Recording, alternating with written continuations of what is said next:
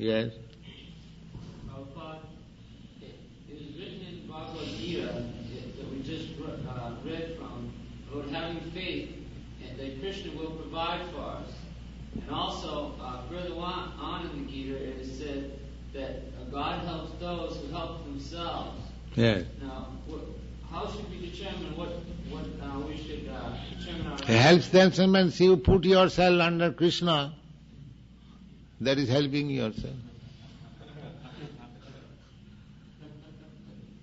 And if you think, oh, I can protect myself, then you are not helping yourself. Just like this finger, so long it is healthy, working, if there is some trouble, I can spend thousands of dollars for this. But if this finger is cut off from my body, uh, if you trample down with your feet this finger, I don't care for it.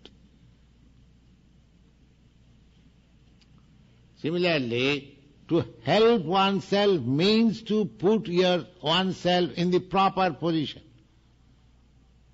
as part and parcel of Krishna. That is real helping. Otherwise, how you can help? The finger can help itself by putting itself in the proper position of the hand and work for the whole body. That is proper position.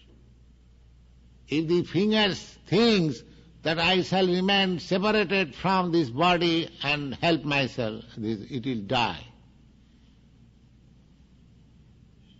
So as soon as we think that I shall live independently without caring for Krishna, that is my death.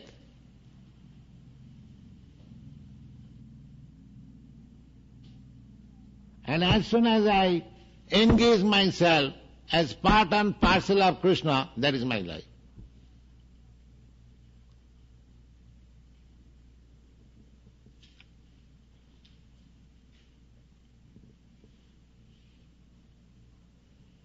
So helping oneself means to uh, know one's position and work in that way. That is helping. Without knowing what is his position, how one can help oneself? It is not possible.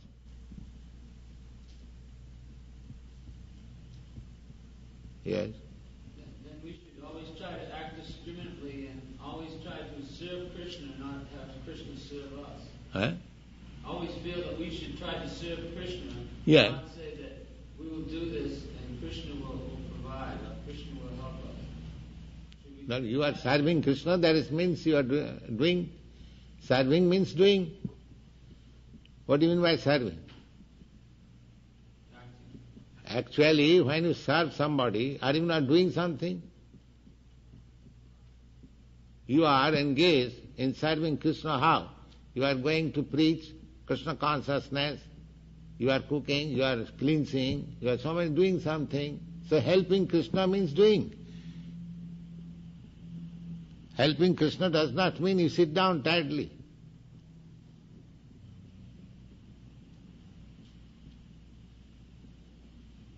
That is Krishna consciousness activities. Whatever asset you have got to work, utilize it for Krishna.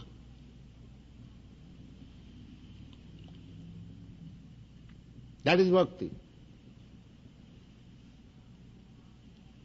Now we have got what assets we have got? We have got the mind. All right, think of Krishna. We have got this hand, wash the temple, or cook for Krishna. We have got these legs, go to the temple of Krishna. We have got this nose, oh, smell the flowers offered to Krishna. So you can engage. So Krishna consciousness engage means working, activity. Arjun, He was declined to act. And Krishna was infusing ah, to act. This is the whole Bhagavad Gita. Krishna consciousness does not mean that no work. To engage yourself in Krishna consciousness means to work for Krishna.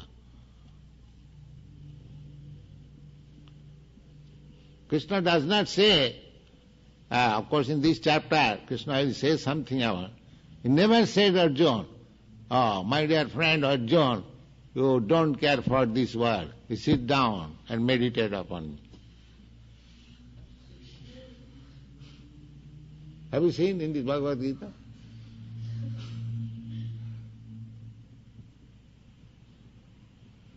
This meditation means to stop all nonsense work. Sit down tightly. But those who are advanced in Krishna consciousness, they have to work for Krishna. Just like ch- child, simply disturbing the home, mother says, my dear child, sit down here. But if you can work nicely, oh, he asks, mother asks, my dear boy, you have to do this, you have to do that, you have to do that.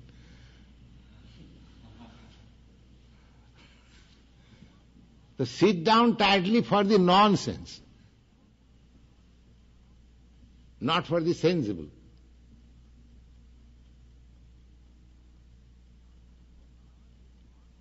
For the nonsense, the more he, he sits down, at least he does not commit any nonsense. That's all. Negation of nonsense. That is not positive. Here is positive activities. So negation is no life. Positive life is life.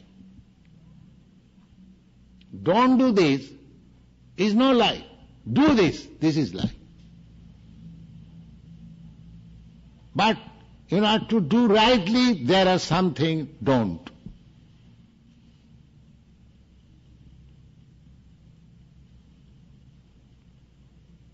Don't is not life. Do his life.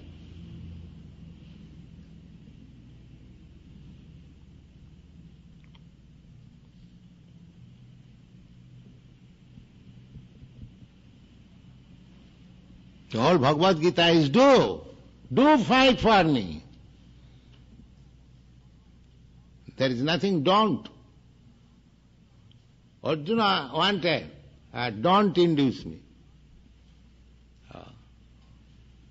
And Krishna did not like that.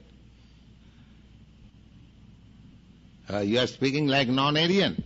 Kutasti kasmalamidam, anarja, justam. It is this kind of words are spoken by the non-Aryans. He was accused of being non-Aryan. Anarja. So Krishna consciousness does not mean uh, sitting idly. No. Uh, we have the whole pastimes of Krishna's full of activities. When you go to spiritual uh, world, uh, Krishna is always dancing. Have to 24 hours dance there and eat there. Where is sit down?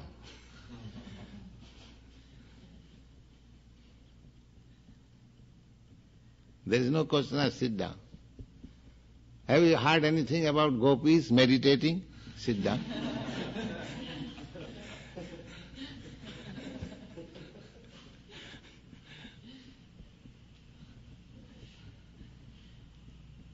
Have you heard? That Krishna Chaitanya Mahaprabhu, he said, what is that? Dancing. Hare Krishna. You see?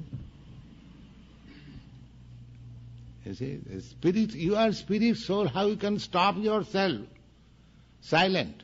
That is not possible. Arjun refused. When you will find in this chapter, when Arjun was recommended, uh, my dear Arjun, you meditate. He immediately refused. My dear Krishna, it is not possible for me. It is not possible for me. That is actual fact. How it is possible for him? He was a householder man. He wanted kingdom. He wanted to rule over the uh, country. how, where is the time for his uh, meditation? He flatly refused, my dear Krishna, it is not possible for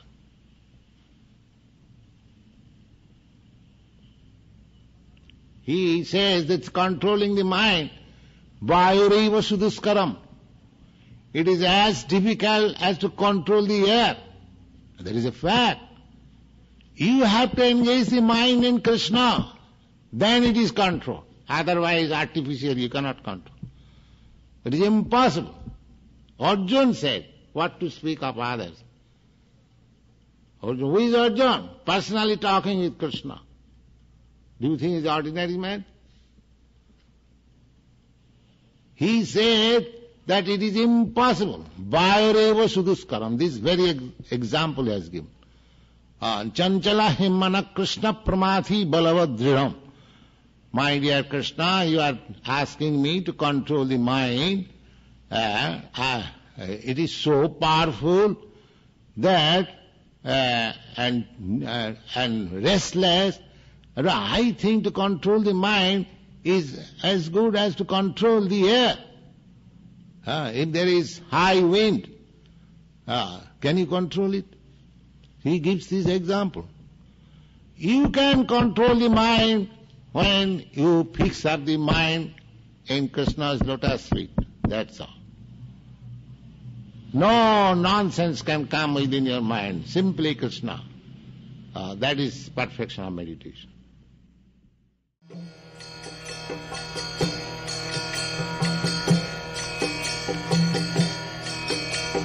Krishna, Hare Krishna, Krishna Krishna, Hare Hare, Hare Rama, Hare Rama, Rama Rama,